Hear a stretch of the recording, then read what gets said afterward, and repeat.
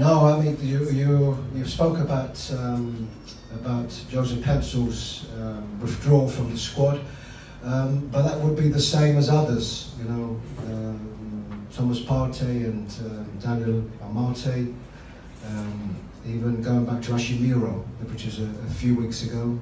Um, uh, Benjamin Tetteh that has been in and around the squad and fitness. So, so yes, and also of course yes, uh, Joe Wollacott. So there, there are several. So uh, I think as regards one um, uh, individual, uh, this is football, and what you have to be able to do is you have to be able to adjust.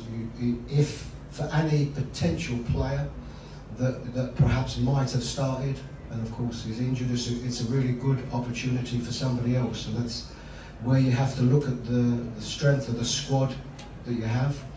Um, I think it's a good squad we have. No, I think uh, uh, all I can do, all I can do is speak uh, on behalf of uh, myself as head coach, and of course the the Black Stars. That's all I can do. What uh, any opposition manager or player has to say about you know their own team or the game, that's that of course is their opinion.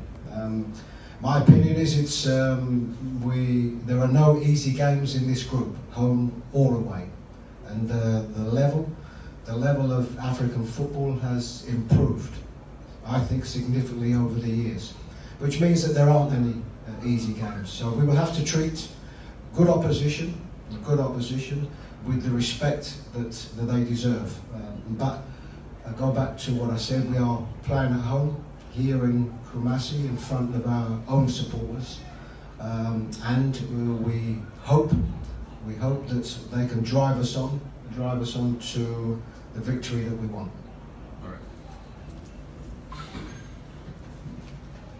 Hi, Coach. Um, my name is Gabriel Ofe, CTFM CCTV. Um, so, quick one. I think you mentioned about Joseph Paintsil having to leave the squad. Is there room for a replacement? Because there's reports that Fatawu Issahaku, who of Leicester City, will join the squad. How true is that? Um, yes, that is true. He will uh, join the squad. He's just, of course, joined um, Leicester City, which is a, one, wonderful move for him. Um, coming, obviously, from Portugal, where he didn't play so much. Of course, he was involved with the under 23s in Morocco in, in the summer. Played all, all three games. Uh, and it's a good move for him, and I think one that will really develop his career. So yes, he will join. We're hoping that he will be with us um, this evening. Uh, my name is Patrick Apiakubi, RFM. About Joseph Paintsil injury. Good, good afternoon all. Um, yes, this is our, our objective. We uh, are very, very conscious of what uh, this game means. Um, not only the, the nation, but of course the, myself, the players and everybody involved, we know what this game means. So our preparation um, has been for the last two days. You know, I've often spoke about the difficulty of, of preparation at international level, but it's the same.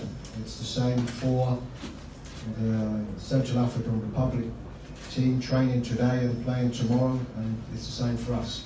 Uh, we will do everything that we can to get uh, the result that we want to get.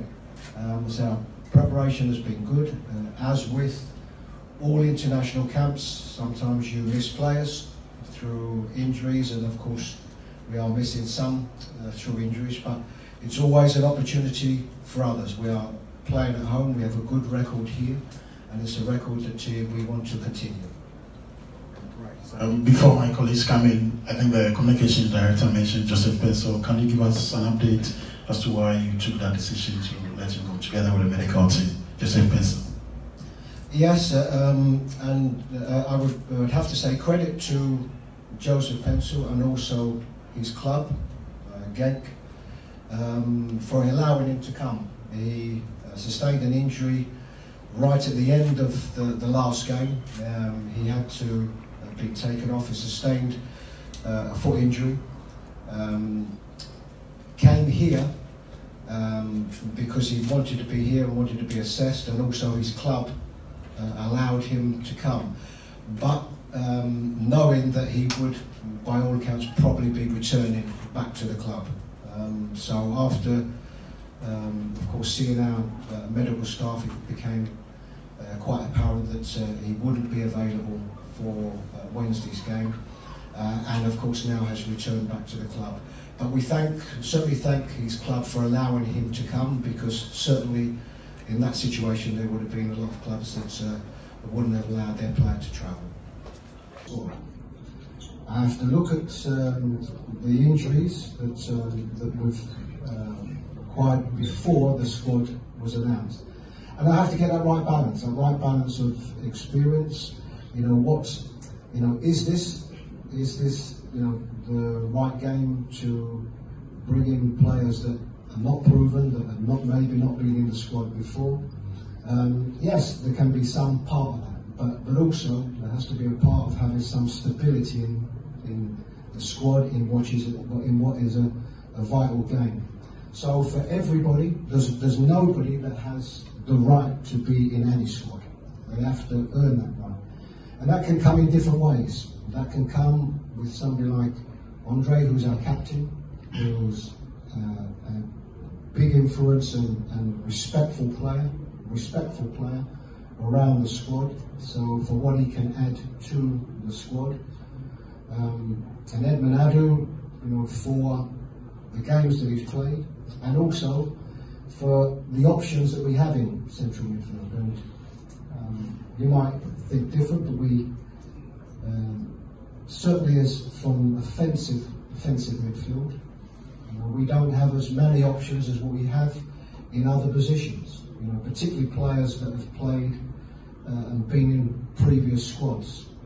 So for, for every player that's in there, there's a thought process that goes on. You know, nobody nobody gets into the squad just because it's a squad. They, there's a thought process for every single player, and um, that's for me to think about. It's always difficult for for everybody that wants to pick a squad because I'm quite sure if I spoke to all of you individually, the squad would differ by five, six players for all of us.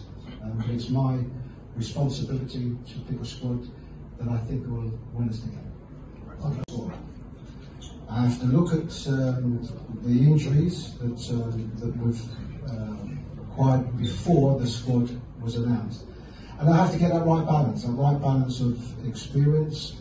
You know, what, you know, is this, is this, you know, the right game to bring in players that are not proven, that have not maybe not been in the squad before? Um, yes, there can be some part of that but, but also there has to be a part of having some stability in, in the squad in what is, in what is a, a vital game. So for everybody, there's, there's nobody that has the right to be in any squad. They have to earn that right. And that can come in different ways. That can come with somebody like Andre, who's our captain, who's uh, a big influence and, and respectful player, respectful player, around the squad. So for what he can add to the squad. Um, and Edmund Addo,